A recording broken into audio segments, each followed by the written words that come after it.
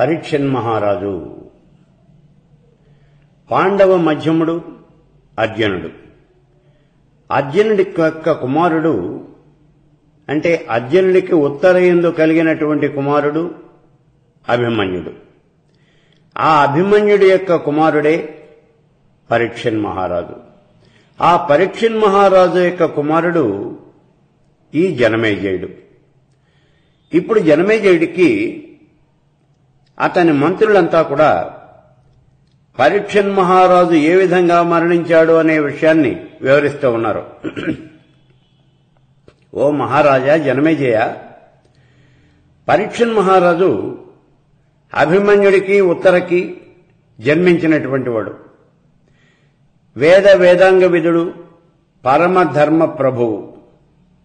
కౌరవంశం సంపూర్ణంగా నాశనం అయిపోయే సమయంలో జన్మించటం వల్ల ఆయనకి పరీక్షిత్తు అనే పేరు కలిగింది.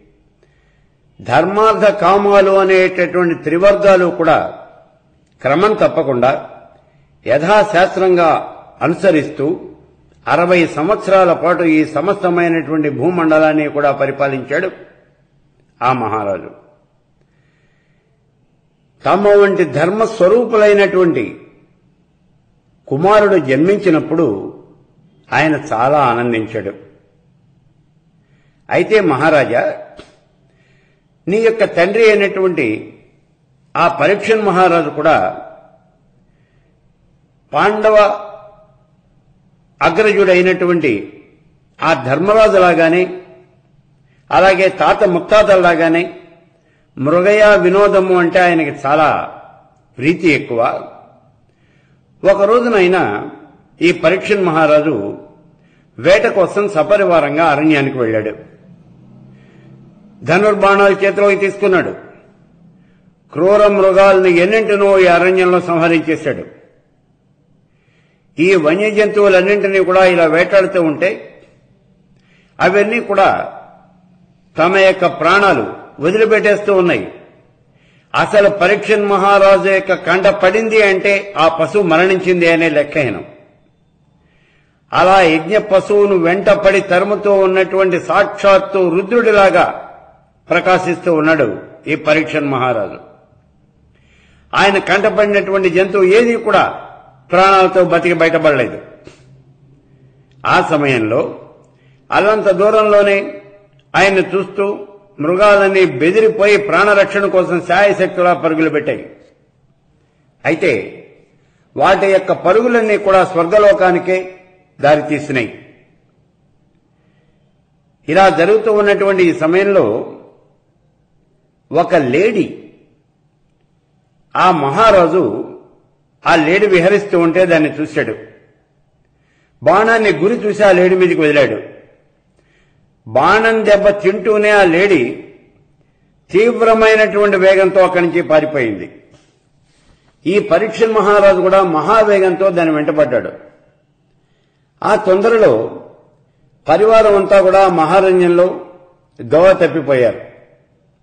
రాజుగారి యొక్క పరివారం అంతా ఒకవైపు వెళ్ళారు ఈ రాజుగారు ఆ లేడీని తరుముకుంటూ ఇంకో దవ ఇంకో దవకుండా వెళ్ళిపోయాడు అలా కొంతసేపు వెళ్ళేటప్పటికీ ఆ లేడీ కాస్త ఎటు వెళ్ళిందో తెలియలా. దట్టమైనటువంటి అరణ్యంలో మహారాజు యొక్క కళ్ళు గప్పి ఆ లేడీ కాస్త ఎటో పారిపోయింది. అప్పటికే చాలా దూరం వచ్చేసాడు ఈ మహారాజు. బాగా అలసిపోయి ఉన్నాడు. ఉదయం నుంచి ఈ వేట కార్యక్రమం అనేది కొనసాగిస్తూనే ఉన్నాడు. దాంతో బాగా అలసిపోయి ఉన్నాడు. విపరీతంగా దాహం వేస్తూ ఉన్నది. ఎండ మండిపోతూ ఉన్నది. అయినా సరే ఆ లేడిని బాణంతో గురిపెట్టి కొట్టాలి అనేటటువంటి పట్టుదలతోనే ఉన్నాడు ఈ మహారాజు. అటువంటి సమయంలో ఆ దగ్గరలోనే ఒక ముని ఆశ్రమం అనేది కనిపించింది మహారాజుకి. ఆయన ఆ ఆశ్రమం దగ్గరికి వెళ్ళాడు. ఈ ఆశ్రమ ప్రాంగణంలో ఒక మునీశ్వరుడు కూర్చొని ఉన్నాడు. ఆయన సమాధి స్థితిలో ఉన్నాడు. ఈ మహారాజు ఆ మునీశ్వరుడి దగ్గరికి వెళ్ళి నమస్కారం చేసి ఓ ఋషివర్య నేను పరీక్షన్ మహారాజుని అభిమన్యుడి యొక్క కుమారుణ్ణి. నా బాణం దెబ్బతిన్నటువంటి ఒక లేడీ ఇటువైపుగా పరుగులు పెట్టుకుంటూ వచ్చింది. ఆ లేడీ ఎటు వెళ్ళిందో నువ్వేమైనా చెప్పగలవా? అని అడిగాడు. ఈ సమాధి స్థితిలో ఉన్నటువంటి ఈ ఋషీశ్వరుడి పేరే శమీకుడు. ఈయన్నే శమీక మహర్షి అని అంటారు. ఆయన సమాధి స్థితిలో ఉన్నాడు. కాబట్టి రాజుగారు ఏం అడిగాడో ఆయనకేం తెలియదు అసలు. ఆయన ఏమీ వినలేదు. అలా మౌనంగా సమాధిలో కూర్చొని ఉన్నాడు. ఉరక్కుండా పలక్కుండా మాట్లాడకుండా అలా కూర్చొని ఉన్నాడు ఆ మునీశ్వరుడు. మళ్ళీ అడిగాడు ఈ మహారాజు. అయినా సమాధానం రాలేదు. రాజుగారికి విపరీతమైనటువంటి కోపం వచ్చింది. అసలే ఆకలి దప్పికలతో అలమటించిపోతూ ఉన్నాడు ఈ మహారాజు. సేమీక మహర్షి యొక్క ఈ మౌనము అనేది ఆ రాజుగారిని మరింతగా రెచ్చగొట్టేసింది. నేను మహారాజుని నేను అడిగితే ఈయన సమాధానం చెప్పటం లేదు అని ఆయన కోపం వచ్చింది. దాంతో ఈ మహర్షిని ఏ రకంగా అయినా సరే అవమానించాలి అని నిశ్చయించుకున్నటువంటి వాడై ఆ దగ్గరలోనే చచ్చిపడి ఉన్నటువంటి ఒక సర్పం యొక్క కళేబరాన్ని తన యొక్క ధనుస్సుతో ఆ బాణంతో ఎత్తుకొచ్చి ఈ మహర్షి యొక్క మెళ్ళ వేసి నవ్వుకుని వెనక్కి తిరిగి చూడకుండా ఇంకా తినగా వెళ్ళిపోయాడు. ఈ శమీక మహర్షి యొక్క కుమారుడే శృంగి. ఇతడు ఘోరమైనటువంటి తపస్సు చేసి సాక్షాత్తు ఆ బ్రహ్మదేవుణ్ణి మెప్పించినటువంటి మహానుభావుడు. తన యొక్క తపస్సు పూర్తి చేసుకుని అదే సమయంలో ఆశ్రమానికి తిరిగి వస్తూ ఉన్నాడు. ఈయన చాలా ముక్కోపి అని ముందే చెప్పుకున్నాం మనం.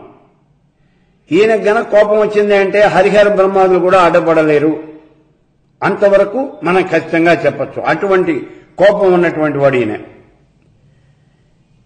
ఈ ఋషికుమారుడు ఈ శృంగి తాను ఆశ్రమంలో లేనటువంటి సమయంలో కురుసుడు అనేటటువంటి ఒక చెలికాన్ని తన తండ్రి కాపలాగా పెట్టి వెళ్ళాడు. ఆ కృష్ణుడు ఈ శృంగి దగ్గరికి పరిగెత్తుకుంటూ వెళ్ళాడు. వెళ్ళి చాలా గొప్పదైనటువంటి తపశ్శక్తితో ఆ బ్రహ్మదేవుణ్ణి మెప్పించాను అని నువ్వు కన్ను మిన్ను కానకుండా ఉన్నావు. నీ జనకుడైనటువంటి శమీకుడు నీకన్నా గొప్ప తపోనిధి. అటువంటి ఆ మహానుభావుడి యొక్క మెళ్ళో పాము యొక్క కళేబరము అనేది ఒకటి వేళ్ళాడుతూ ఉన్నది. కేవలం శవవాహకుడైనాడు నీ తండ్రి.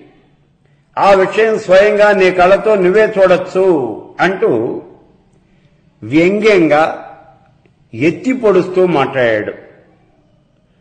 దాంతో ఈ శృంగికి విపరీతమైనటువంటి కోపం వచ్చేసింది. జరిగిన విషయం అంతా కూడా చెప్పేశాడు. ఈ చెలికాడైనటువంటి ఈ కృషుడు విన్నటువంటి శృంగికి విపరీతమైన కోపం వచ్చింది. కావాలంటే నువ్వే వెళ్ళి నీ కళతో చూడు అన్నాడు. అగ్గి మీద గుగ్గిన వల్లే మండిపోయాడు శృంగి. చకా తన తండ్రి దగ్గరికి వెళ్ళాడు. చూశాడు. తండ్రేమో సమాధి స్థితిలో కూర్చొని ఉన్నాడు. అతని మెడలో చచ్చిపోయినటువంటి ఒక పాము యొక్క కళేబరము మృత సర్పము యొక్క కళేబరం వేలాడుతూ ఉన్నది. విపరీతమైనటువంటి కోపంతో ఊగిపోయాడు.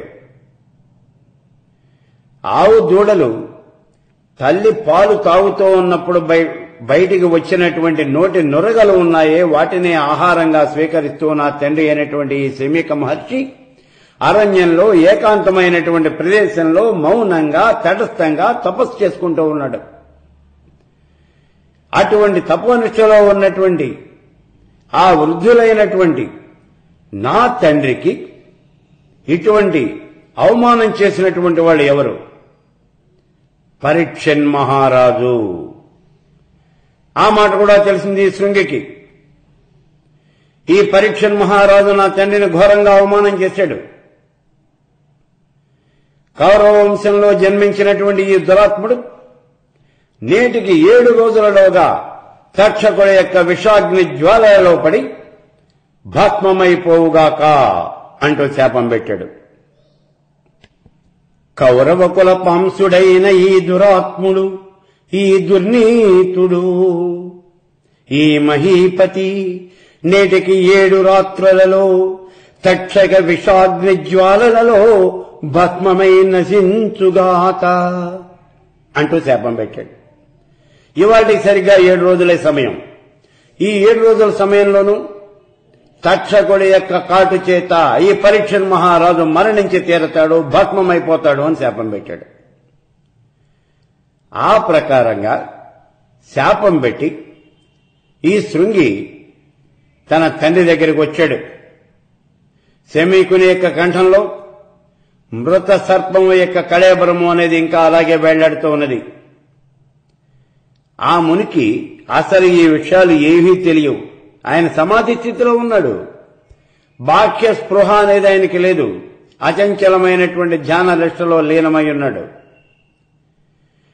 అటువంటి పరిస్థితి చూడగానే శృంగి హృదయంలో కోపాగ్ని ఇంకా ప్రజ్వరిల్లిపోయింది కొంతసేపటికి అతడు శాంతించి తండ్రి మెడలో వేలాడుతూ ఉన్నటువంటి ఆ సర్పం యొక్క కళేబరాన్ని తీసి దూరంగా పారేశాడు. మరికొంతసేపటికి ఈ శమిక మహర్షి సమాధి స్థితి నుంచి బయటకు వచ్చాడు మెల్లగా కళ్ళు తెరిచాడు. ఎదురకుండా కుమారుడు కనిపించాడు. జనకుడి యొక్క దృష్టి ప్రసరించగానే కుమారుడైనటువంటి శృంగి యొక్క కళ్ళలో నీళ్ళు తిరిగినాయి. అతడు అంతకు పూర్వం జరిగినటువంటి విషయాలన్నీ కూడా పూసగుచ్చినట్టుగా తండ్రికి చెప్పేశాడు. తాను ఇచ్చినటువంటి శాపం కూడా తెలియజేశాడు. ఓ తండ్రి నిన్ను ఈ రకంగా అవమానించినటువంటి ఆ రాజు మీద నాకు విపరీతమైనటువంటి కోపం వచ్చింది. నేటికి ఏడు రోజుల లోపల ఆ రాజు కాస్త తక్షకుడు యొక్క కాటు వల్ల మరణిస్తాడు అని నేను శాపం పెట్టాను అన్నాడు. మహర్షి ఆ మాటలు విన్నాడు. అతడు ఆనందించలేదు. చాలా దుఃఖించాడు.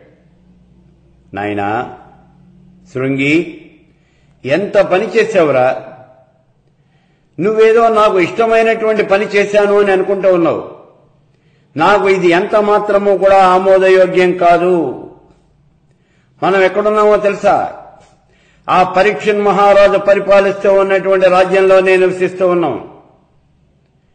అతడే గనక అందరినీ జాగ్రత్తగా పరిపాలించినటువంటి పక్షంలో ఆర్షధర్మము అనేది అసలు మనం ఏ విధంగా నిర్వర్తించగలుగుతామయ్యా? ఒక్కసారి ఆలోచించు. ఓ కుమారా ఈ కారణం చేతనే మహారాజు ఏదైనా ఒక పొరపాటు చేసినప్పటికీ కూడా మనం మన్నించి తీరాలి. ఆ రాజు ఇక్కడికి వచ్చినప్పుడు విపరీతమైనటువంటి ఆకలి దెబ్బలతో అలసలతో ఉన్నాడు. ఆయన నన్ను పిలిచాడు కానీ నేను పలకలేదు. దాంతో ఆ రాజు తొందరపాటుతో ఈ సర్పం యొక్క కళేబలాన్ని నా మెళ్ళో వేసి వెళ్ళిపోయాడు. కానీ నువ్వు తెలిసి తెలియనటువంటి పసితనపు యొక్క తొందరపాటుతో ఈ విధంగా ఘోరమైనటువంటి శాపాన్ని ఇచ్చావు. నాయనా ఇది తప్పు కదా. నాయనా కుమారా క్రోధము తపముంజరచును. క్రోధము అణిమాదులైన గుణముల బాపున్. క్రోధము ధర్మక్రియలకు బాధయగుం. క్రోధిగాదు తపస్వికి జన్ని. కోపము అనేది ఎప్పుడు పనికిరాదురానైనా కోపంతో మనం చేసినటువంటి ఈ తపస్సంతా కూడా వ్యర్థమైపోతుంది. అంతేకాదు మనం ఎంతో కష్టపడి సంపాదించినటువంటి అణిమాది సిద్ధులు అష్టసిద్ధులన్నీ కూడా ఎందుకు పనికి రాకుండా పోతాయి? ఇన్ని మాటలు ఎందుకయ్యా? అసలు కోపం గనక వచ్చినట్లయితే సమస్తమైనటువంటి ధర్మాలు కూడా నాశనం అయిపోతాయి కాబట్టి ఓ కుమారా తపస్సు చేసుకునేటటువంటి మహానుభావుడికి కోపము అనేది తగదు అని కుమారుడికి హితవు చెప్పాడు చూడండి ఇక్కడ. క్రోధము తపముంజరచును క్రోధము అనిమాదులైన గుణముల బాపున్ క్రోధము ధర్మ క్రియలకు బాధయగున్. క్రోధిగా తపస్వికి జన్ని. నాయనా నేను ఇంకో మాట కూడా చెప్తూ ఉన్నాను విను. క్షమలేని తపసి తపమును ప్రమత్వ సంపదయు ధర్మ బాహ్య ప్రభు రాజ్యమును భిన్న కుంభమున తోయములట్టుల అధ్రువంబులగు ఇవి ఎల్లన్. నాయనా క్షమ అనేటటువంటిది ఉండాలి. క్షమ లేనటువంటి వాడి యొక్క తపోనిష్ట మదించి మత్తెక్కినటువంటి వాడి యొక్క సంపద ధర్మం తప్పి చరించేటటువంటి ప్రభు యొక్క రాజ్యము ఇవన్నీ కూడా పగిలిపోయినటువంటి కుండలో పోసినటువంటి జలంలాగా ఇవన్నీ క్షీణించిపోతాయిరా. కాబట్టి ఇవన్నీ కూడా మనకి పనికి రానటువంటివి క్షమ అనేది ఉండాలి క్రోధము అనేది ఉండకూడదు అని చెప్పాడు. అయినా కుమారా ఈ మహారాజు అయినటువంటి వాడు మనందరినీ కూడా కన్న బిడ్డలలాగా పరిపాలిస్తూ ఉన్నాడు. మరి అటువంటి రాజుకి మనం అపకారం చేయవచ్చా? ఇంతకన్నా వేరే ఘోర పాతకము అనేది ఏమైనదా? ఉన్నదా? చాలా జాగ్రత్తగా వినవయ్యా అని అంటూ ఉన్నాడు. అంతేకాదు ఈ పరీక్షన్ మహారాజు చాలా గొప్పవాడయ్యా. నేను ఒక్క మాట చెప్తాను విను. క్షత్రియ వంశులై ధరణిగా అవగ పుట్టినవారు బ్రాహ్మణ క్షత్రియ వైశ్య శూద్రులనగా గల నాలుగు జాతులన్ స్వచారిత్రము తప్పకుండా పరీక్షిత్తు కాచిన ఎట్లు రామ మాంధాత రఘుక్షితీసులు ముదంబునగా చిరయే యుగంబులన్. ఒక్క మాట ఆలోచించవయ్యా. బ్రాహ్మణుడు క్షత్రియుడు వైశ్యుడు శూద్రుడు అనేటటువంటి నాలుగు వర్ణాల వారిని కూడా వారి వారి ధర్మాలలో నిలబెడుతూ ఈ పరీక్ష మహారాజు సంరక్షించినట్టుగా సాక్షాత్తు శ్రీరాముడు గాని మాంధాత చక్రవర్తి గాని రఘు మహారాజు గాని ఈ భూమిని పరిపాలించారా? పోనీ ఇంకే రాజైనా సరే ఇలా పరిపాలించాడా? ఒక్కసారి ఆలోచించు. ఈ పరీక్షన్ మహారాజు చాలా గొప్పవాడు. కాబట్టి అటువంటి మహారాజుకి మనం శాపం ఇవ్వటము అనేది చాలా పొరపాటయ్యా. ఇప్పటికైనా మించిపోయింది లేదు. ఇచ్చినటువంటి శాపాన్ని గనక తిప్పివేయగలిగినట్లయితే దాన్ని వెంటనే ఉపసంహరించుకో అన్నాడు. చూడండి ఇక్కడ. ఈ మునీశ్వరుడి యొక్క గొప్పతనం ఎలా ఉంటుంది? సత్పురుషులందరూ కూడా ఇలాగే ఉంటారు. తనకి అపకారం చేసినటువంటి వాడికి కూడా ఉపకారం చేయాలి అనే ఆలోచనే ఉంది ఈయనకి. తన మెడలో చచ్చిపోయినటువంటి పామును వేసి ఘోరంగా అవమానించాడు ఈ మహారాజు. అయినప్పటికీ రాజు మీద కోపం రావటం లేదు ఈ రాజు ఈ మునీశ్వరుడికి. ఆయనకి శాపం పెట్టడం తప్పు అని కుమారుణ్ణే నిందిస్తూ ఉన్నాడు. ఇప్పటికైనా మించిపోయిన లేదు ఏమీ లేదురా నాయనా నువ్వు వెళ్ళి ఆ శాపాన్ని గనక తిప్పేయగలిగినట్లయితే తిప్పివెయ్యి ఆ శాపాన్ని ఉపసంహరించుకో అన్నాడు. ఈ మాటలు విన్నటువంటి శృంగి ఇప్పుడు చెబుతూ ఉన్నాడు. తండ్రి అపరిమితమైనటువంటి కోపంతో నేను ఆ రాజుగారికి దారుణమైనటువంటి శాపాన్ని ఇచ్చాను. ఇలా నా నోటి నుంచి వచ్చినటువంటి ఈ శాపాగ్ని తక్షకుడి దగ్గరికి చేరే ఉంటుంది. ఈ అగ్ని వల్ల ఆ తక్షకుడు కూడా తక్షణమే ప్రేరేపించబడి ఉంటాడు. కాబట్టి నా శాపానికి ఇంకా తిరుగులేదు అన్నాడు. కుమారుడి యొక్క సమాధానం విన్నాడు ఈ శమీక మహర్షి. ఎంతో బాధపడ్డాడు. ఆ తర్వాత తన యొక్క శిష్యుడైనటువంటి గౌరవముఖుడు అనేవాడిని పిలిచాడు. నాయనా నువ్వు మహారాజు దగ్గరికి వెళ్ళు. జరిగిన విషయం అంతా కూడా అతని పొసగుచ్చినట్టుగా చెప్పు. ఈ శాపం యొక్క వృత్తాంతం అంతా కూడా ఆమూలాగ్రం ఆయనకి నివేదించు. మంత్రతంత్రాలు ఏ రకంగా అయినా సరే ఉపయోగించి అతని ప్రాణాలు రక్షించుకోవలసింది అని చెప్పి నా మాటగా అతనికి చెప్పు. నేను చెప్పాను అని చెప్పి ఆ మహారాజుకి విన్నవలసి విన్నవించవలసింది అన్నాడు. అలాగేను అన్నాడు ఈ గౌరముఖుడు బయలుదేరి మహారాజు దగ్గరికి వెళ్ళాడు. మహారాజుకు జరిగినటువంటి విషయం అంతా చెప్పాడు గురువు గారి సందేశాన్ని వినిపించాడు. ఈ సందేశాన్ని విన్నటువంటి ఆ మహారాజు చాలా బాధపడ్డాడు. దేనికి బాధపడ్డాడో చూడండి. తనకి శాపం ఇచ్చాడని లేదా తాను మరణిస్తున్నాడు అని దీనికోసం బాధపడలేదా మహారాజు? ఆయన ఎందుకు బాధపడుతూ ఉన్నాడు అంటే నేను ఆ శమీక మహర్షిని అనవసరంగా అవమానించాను నేను పొరపాటు చేశాను అని బాధపడుతూ ఉన్నాడు. అంతేగాని తనకు శాపం ఇచ్చినందుకు బాధపడ్డా సరే వెంటనే ఈ మహారాజు తాను చేసినటువంటి పనికి చాలా చింతించి ధన్యవాదాలు తెలిపాడు. ఈ గౌరముఖుడు తిరిగి తన ఆశ్రమానికి వెళ్ళిపోయాడు. ఇప్పుడు ఈ శమిక మహర్షి మౌన వ్రతం పాటించి మళ్ళీ సమాధిలోకి వెళ్ళిపోయాడు. ఇక అక్కడ ఈ పరీక్షన్ మహారాజు చాలా విచారిస్తూ ఉన్నాడు దుఃఖిస్తూ ఉన్నాడు. తనకు మృత్యువు రానున్నది అని తెలిసి కూడా దానికి అంతగా బాధపట్టలేదు తాను ఆ మునీశ్వరుడికి చేసినటువంటి అపచారం తలుచుకుని కుమిలి కుమిలి దుఃఖిస్తూ ఉన్నాడు. అయితే ఆ క్షణం నుంచే తన యొక్క ఆత్మ సంరక్షణ కోసం అత్యంతమైనటువంటి జాగరూకత వహించాడు. ఈ తక్షకుడు సామాన్యుడు కాదు. భవనంలో ప్రవేశించడానికి ఏ రకమైనటువంటి మార్గం దొరికినా సరే అతను వదిలిపెట్టడు. కాబట్టి కక్షకుడు మహామాయావి.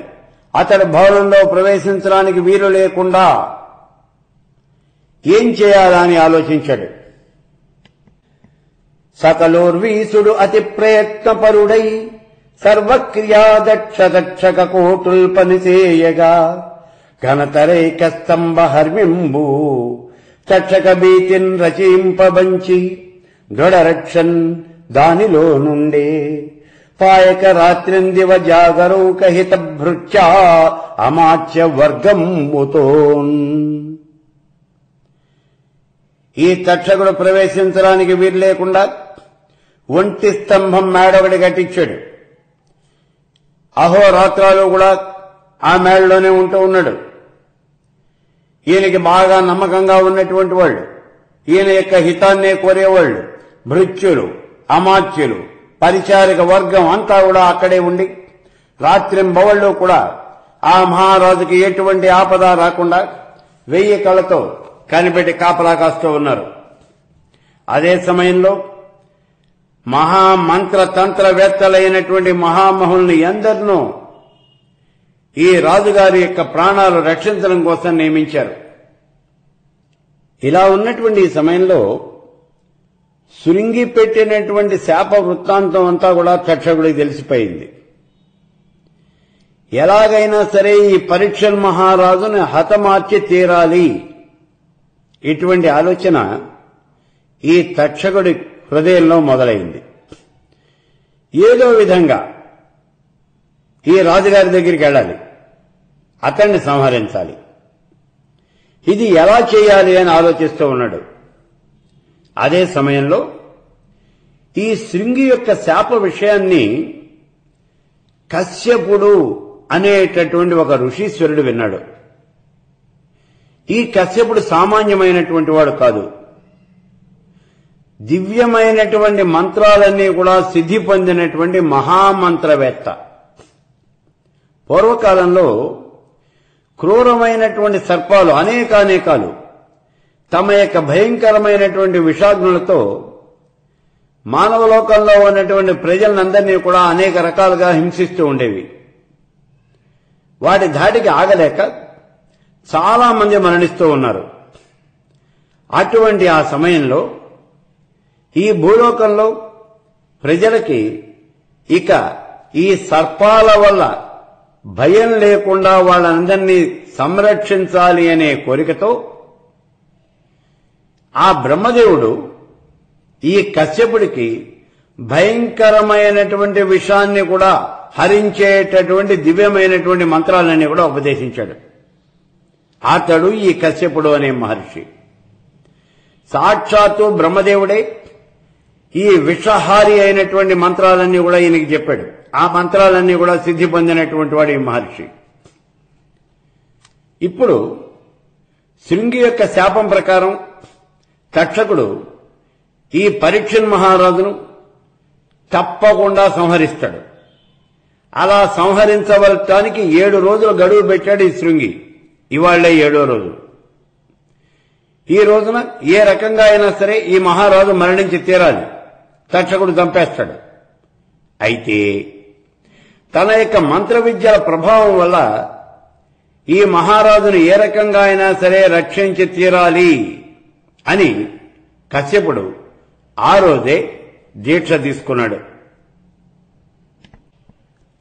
తక్షకుడను పన్నగుడు పరీక్షిత్తుంగరచునట నేడరిందమునతనిన్ రక్షింపగబోయెద. శుభదక్షను నా మంత్రతంత్ర దాక్షిణ్యమునన్ తక్షకుడు అనేటటువంటి ఈ విషసర్పం పరీక్షన్ మహారాజును చంపేస్తాయట.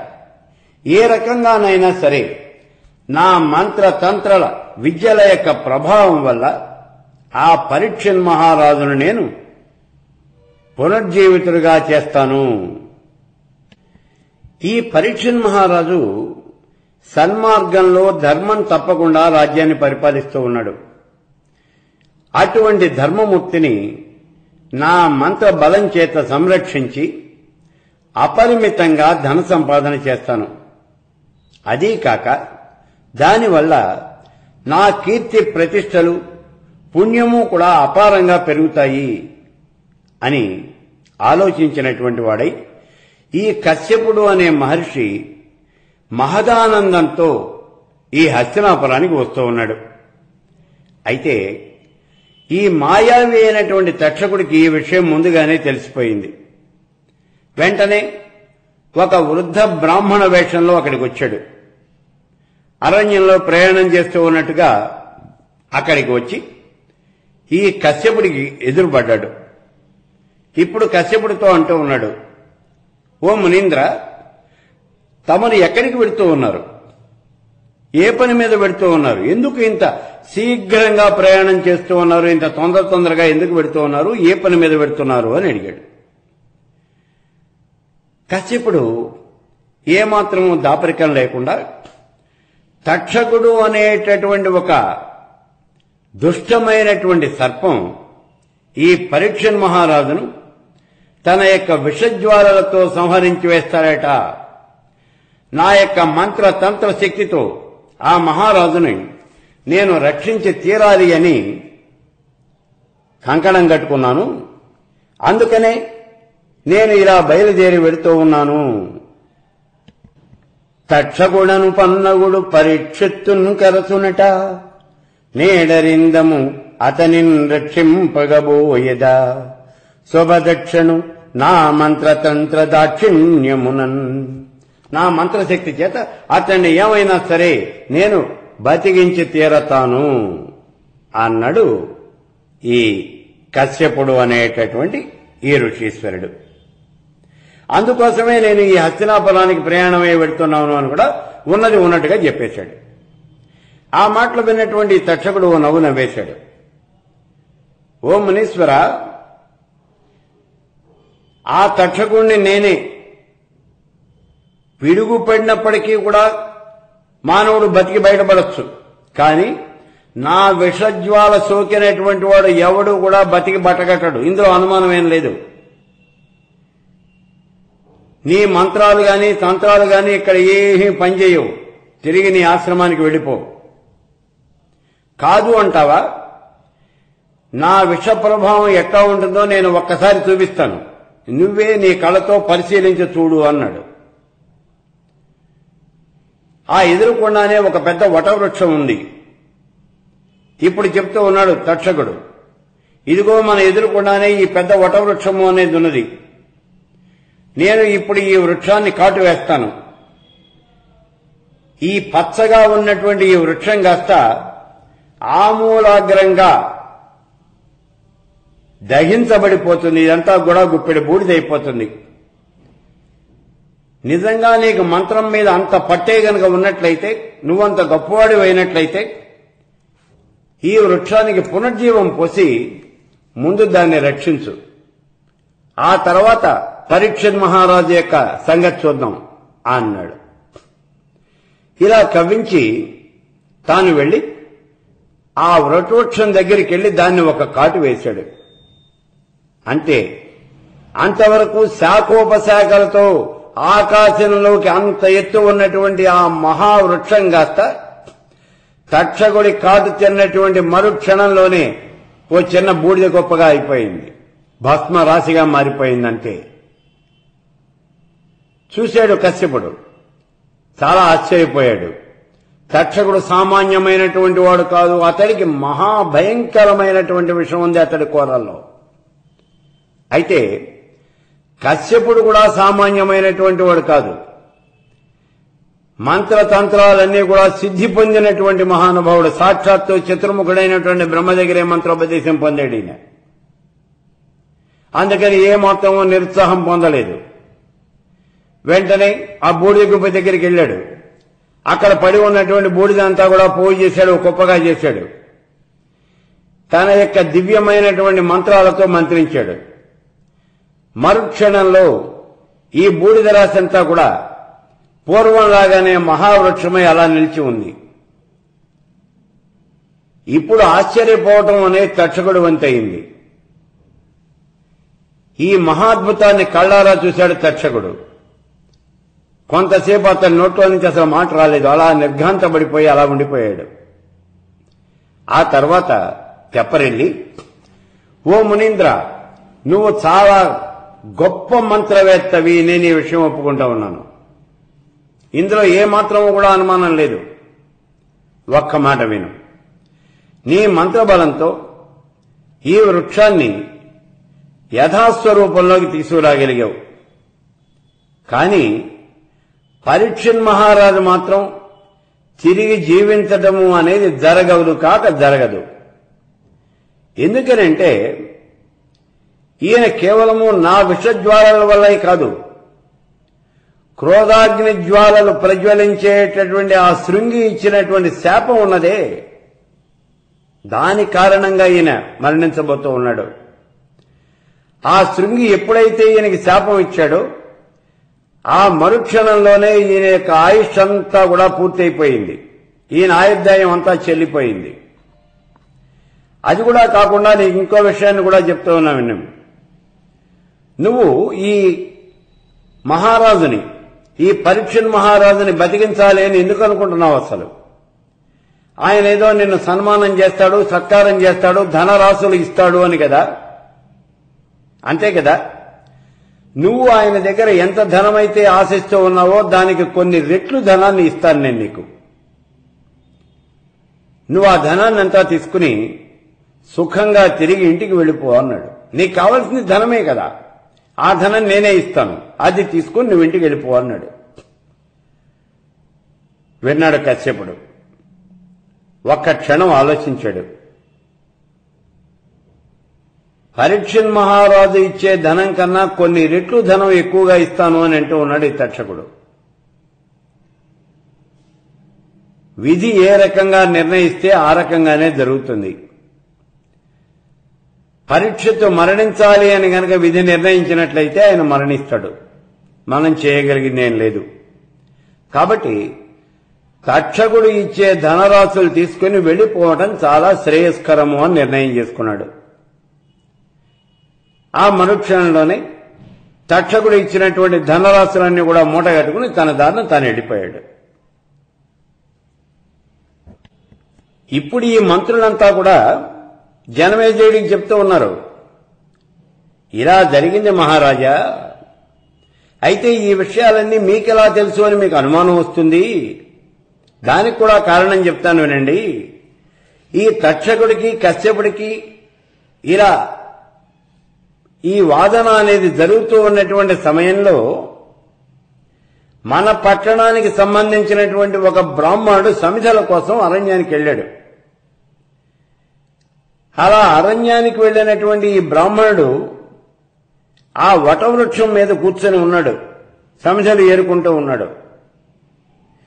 ఈ తక్షకుడు పోయి ఆ వటవృక్షాన్నే కాటువేశాడు.